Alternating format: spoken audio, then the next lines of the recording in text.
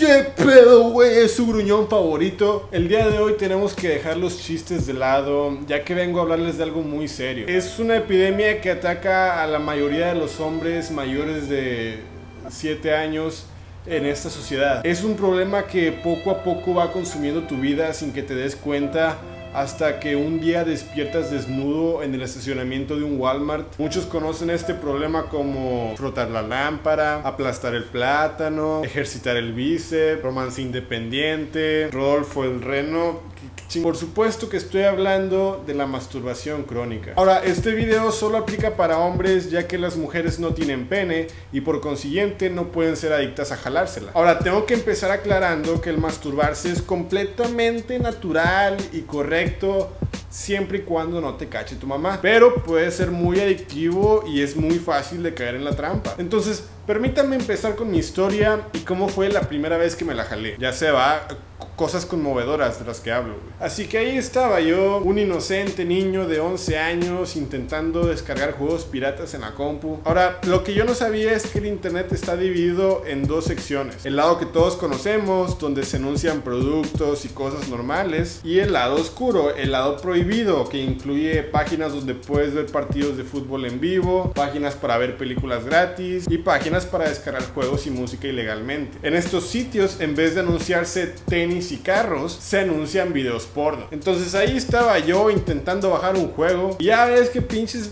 páginas mamonas dice, ahí viene el link que dice descargar aquí y le piqué y salió otra ventana con cuatro videos porno al mismo tiempo. Eso fue como cuando te envían un video que se ve bien bonito y luego se empieza a escuchar una vieja gimiendo.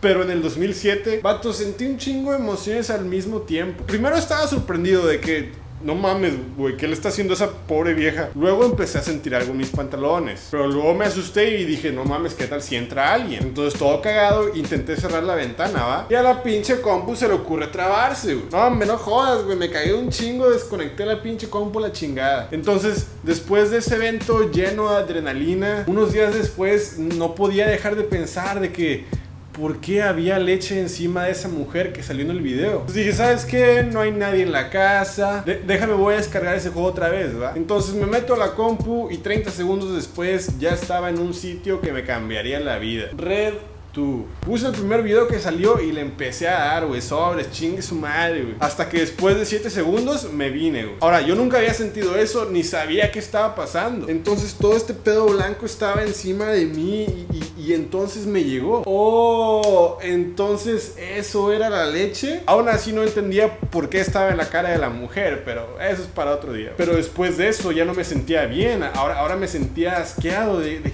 ¿Qué, qué, acaba de pasar? ¿Por qué estoy viendo esto? Va, te empiezas a preguntar de qué sirvieron realmente tantas idas a la iglesia. Pero esta adicción es igual que por decir apostar. Va, se siente con madre la adrenalina cuando estás apostando y luego lo pierdes todo y te sientes bien ojete. Pero la próxima vez que te den ganas de volver a hacerlo, no vas a pensar en lo mierda que te sentías cuando lo perdiste todo o cuando te manchaste toda la mano. Va, solo recuerdas la parte divertida. Y ese es el problema con la adicción. Tu cerebro puede que recuerde que después de tomar un chingo te vas a sentir súper mal en la mañana. pero no importa, porque está mal, e, está prohibido, ¿va? Lo prohibido siempre nos atrae más porque está mal, va, está mal, está, está jodido. Igual que nosotros, por eso nos atrae. Es la única razón por la cual una vez entras al hoyo, ya no puedes salir. Solo te vas yendo más y más hacia abajo porque cada vez haces cosas más jodidas. Va, pongamos este ejemplo. Muchos comienzan con que vieron a una mujer en una película sin playera, pero con el pecho pixelado. Va, y eso atrae la curiosidad.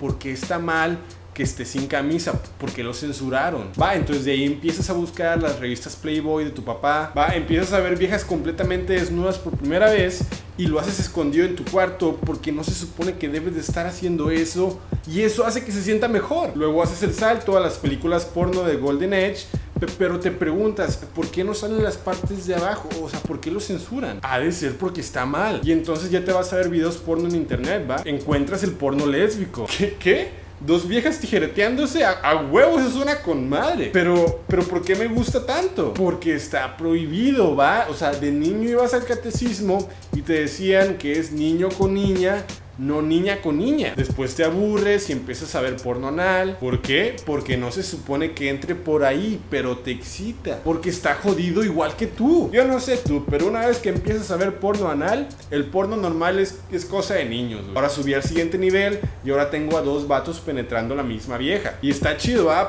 Pero ¿por qué tengo a dos vatos en mi pantalla mientras me la estoy jalando? Yo qué sé. ¿Seré gay? Entonces pones un video de porno gay. ¿Ok? Esto está muy jodido y muy mal actuado.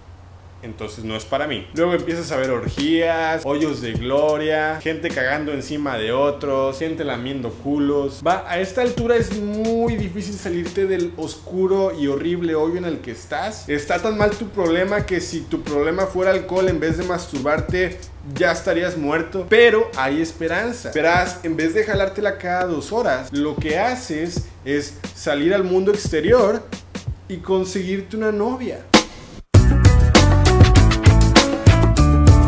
Hey, si te suscríbete, dale like, suscríbete, checa mi segundo canal Macho Muerto para ver videos de ejercicio. Eh, dale like si te gustó eh, y sígueme en Twitter e Instagram, arroba guapo y comenta en la parte de abajo para que salgas en los comentarios chingones. Y ah, pues sí, chicos, em, hay un movimiento que se llama NoFap o algo así donde no te la jalas por mucho tiempo. Y honestamente no es que lo haga yo, pero a veces sí se me olvida, o sea, ya llega un punto en que sí estás muy mal y, te la jalas muy seguido y luego te das cuenta que tu vida es, una mierda y luego ya dejas de hacerlo y haces cosas como, no sé, ser productivo, limpiar, estudiar. ¿Entiendes? Entonces, um, sí. ¿Qué es peor? ¿Que te la jales cuando estás triste o que tomes cuando estás triste? O sea, ¿qué, ¿cuál tiene peor resultados a, lo, a la larga? O sea, no sé, solo sé que comenten en la parte de abajo si alguna vez te cacharon jalándotela porque me encantaría escuchar sus historias y reírme de ustedes. Ja, ja, ja, ja.